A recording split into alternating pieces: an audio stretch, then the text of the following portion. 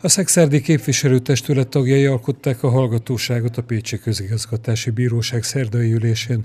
A város menesztett polgármestere nyújtott be keresetet, miszerint eltávolítását nem támasztják alá törvényi indokok. Mint ismerte a Szexárdi közgyűlés határozata szerint az Erőv ZRT-nél vállalt olyan pozíciót, amiért pénzt kapott a polgármester. Ez pedig összeférhetetlen a hatályban lévő jogszabályjal egy cég érdekes státuszú testületének lett az elnöke. Erre tilalmi rendelkezés nincs az MÖTV-ben. Tilalmi rendelkezés a díjazás elfogadására van. Ács Rezső felperes 2023 májusára díjazást nem fogadott el, és pont a képviselőtestületi határozat keletkezésének napján a díjazásáról lemondott. A Szexárd önkormányzatot képviselő védő szerint a közgyűlési döntés napján ez nem derült ki a közgyűlés ülésén.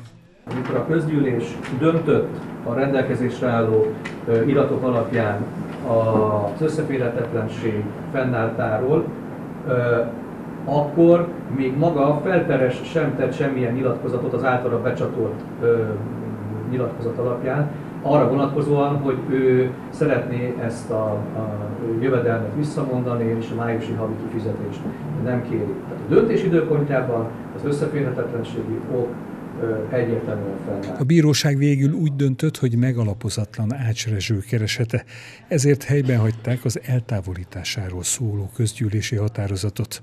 A döntés nem jogerős.